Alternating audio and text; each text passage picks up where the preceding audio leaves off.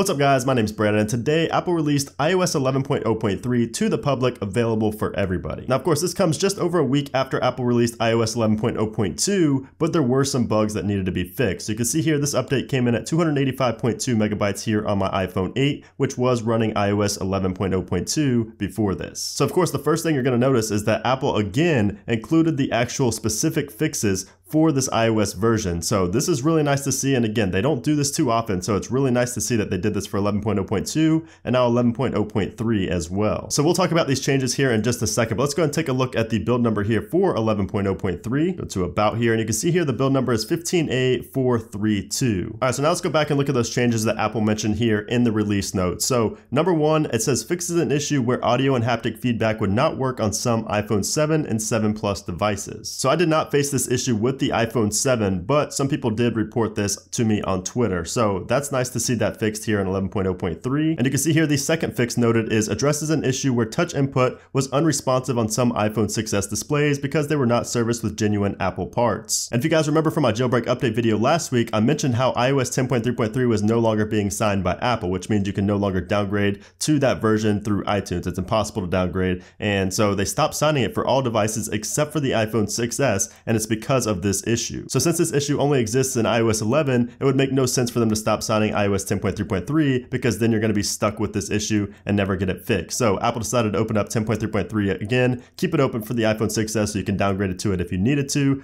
but that has been fixed now in 11.0.3. So that means that Apple is going to stop signing iOS 10.3.3 very soon. So that means if you want to go back to iOS 10, iOS 10.3.3 instead of iOS 11, which a lot of people have been wanting to do lately, now is the time to do so. You need to do so ASAP. And the reason being is because Apple's going to stop signing 10.3.3 very soon, which is going to make it impossible to downgrade through iTunes. So if you do have an iPhone 6s and you want to go back to 10.3.3, make sure to do it as soon as possible because once again, it has been fixed here in 11.0.3. And then you can see here that Apple did also make a note, making sure that you know that you should only go to an Apple certified screen repair person. So let's go back to the home screen here and talk about the 3D touch stutter. It is once again present in 11.0.3. Surprise, surprise, you know, it's pretty much in every version. I'm not sure when this is going to get fixed, but you know, your typical everyday user is not going to notice this, but when you update, you know, and, and, go through all the betas and do all the testing like I do, you're going to notice this 3D touch stutter. But once again, not a major deal, but I do have to mention it in every video just because I'm still waiting on an official fix to come someday. But aside from that, there's nothing that I found that has changed here in 11.0.3 from 11.0.2. As far as the battery life and performance on 11.0.2, it's actually been fine on my iPhone 8. A lot of people made videos bashing 11.0.2, but I do not think it was bad at all. So we'll see if iOS 11.0.3 can improve on that, but I'm not really expecting too much with such a small point update. The two changes I covered in the beginning are basically all that this update is going to bring to you. So if 11.0.2 is doing fine for you right now and you don't need any of those fixes that I mentioned earlier in the video, stay on 11.0.2. But anyways guys, that's it for this video. This was just a quick video talking about iOS 11.0.3. I hope you did enjoy it. If you found any other changes that I didn't mention, make sure to leave them in a comment down below. And as usual, I will be doing a follow-up video within the week talking about iOS 11.0.3 and how much better, if at all, it is than 11.0.2. But anyways guys, if you enjoyed the video, make sure to give it a thumbs up and also make sure to subscribe for a lot more iOS 11 coverage. So thanks again for watching guys, and I'll see you soon.